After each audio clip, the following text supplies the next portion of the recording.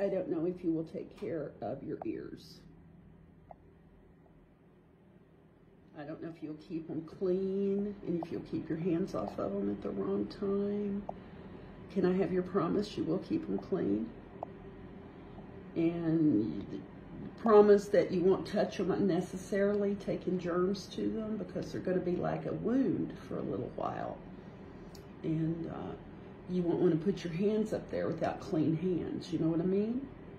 Even though you want to touch them, so you would have to, you would have to look in the mirror, look on the phone or stuff a lot at them, and not actually put hands that had touched dirty things up into these holes that have just been made in your ears. So I can promise you're going to be, eh, you can promise me you're going to be extra careful? Yes. Okay.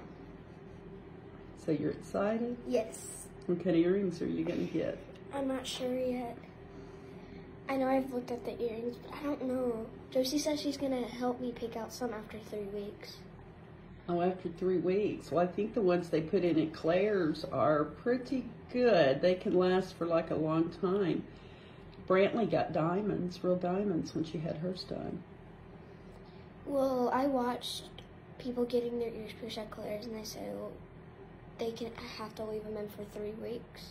Mm-hmm. But you can still wear the same earrings you first get after Yes. three weeks. Okay, so you're pretty educated.